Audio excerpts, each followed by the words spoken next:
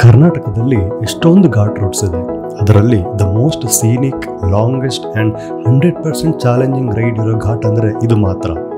ಈ ಘಾಟ್ ಇರೋದು N H seventy ತ್ರೀನಲ್ಲಿ ಟ್ವೆಂಟಿ ಫೋರ್ ಕಿಲೋಮೀಟರ್ ಉದ್ದ ಇದ್ದು ಹನ್ನೆರಡು ಹೇರ್ ಪಿನ್ ಕರ್ವ್ಸ್ ಇದೆ. ಪ್ರತಿ ವರ್ಷ ಮಾನ್ಸೂನ್ನಲ್ಲಿ ಇನ್ನೂರೈವತ್ತು ಇಂಚಿಗೂ ಹೆಚ್ಚು ಮಳೆ ಆಗುತ್ತೆ ಇಲ್ಲಿ. ಕರ್ನಾಟಕದಲ್ಲಿ ಈ ರೋಡ್ಗೆ ದ ಡೀಪೆಸ್ಟ್ ಘಾಟ್ ರೋಡ್ ಅಂತಲೂ ಕರೀತಾರೆ. ಸಮ್ಮರಲ್ಲಿ ಫುಲ್ ಡ್ರೈ ಆಗಿ ಕಾಡಿಗೆ ಚಚ್ಕೊಂಡ್ರು ಮಾನ್ಸೂನಲ್ಲಿ ಅಷ್ಟೇ ಬ್ಯೂಟಿಫುಲ್ ಆಗಿ ಚೇಂಜ್ ಆಗೋಗ್ಬಿಡುತ್ತೆ.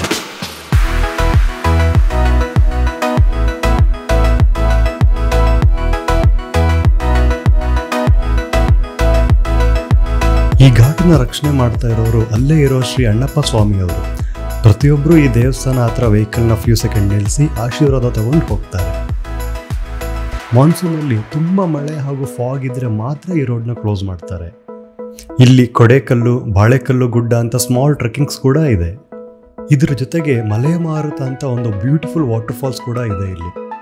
ಬಟ್ ಈ ಫಾಲ್ಸ್ಗೆ ಹೋಗೋದಕ್ಕೆ ಸ್ವಲ್ಪ ಕಷ್ಟ. ನ್ಯಾರೋ ಸ್ಟೀಪ್ ಇದೆ ಹಾಗೂ ಪಾರ್ಕಿಂಗ್ ಫೆಸಿಲಿಟೀಸ್ ಇಲ್ಲ ಇಲ್ಲಿ. ಸೊ ಬಿ ಕೇರ್ಫುಲ್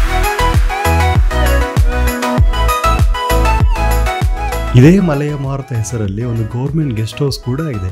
ಈ ಗೆಸ್ಟ್ ಹೌಸ್ನ ನಾವು ಆನ್ಲೈನ್ ಅಥವಾ ಕೊಟ್ಟಿಗೆಹಾರ ಚೆಕ್ ಪೋಸ್ಟಲ್ಲಿ ವಿಚಾರಿಸಿ ಬುಕ್ ಮಾಡ್ಬೋದು ಹತ್ತರಿಂದ ಹನ್ನೆರಡು ಜನ ಸ್ಟೇ ಮಾಡೋಷ್ಟು ಫೆಸಿಲಿಟೀಸ್ ಇದೆ ರೈನಿ ಸೀಸನಲ್ಲಿ ಈ ಘಾಟಲ್ಲಿ ಡ್ರೈವ್ ಮಾಡ್ಕೊಂಡು ಹೋಗುವಾಗ ರೋಡ್ ಸೈಡ್ ಎಷ್ಟೊಂದು ವಾಟರ್ ಫಾಲ್ಸ್ನ ನೋಡೋದೇ ಒಂದು ಅದ್ಭುತ.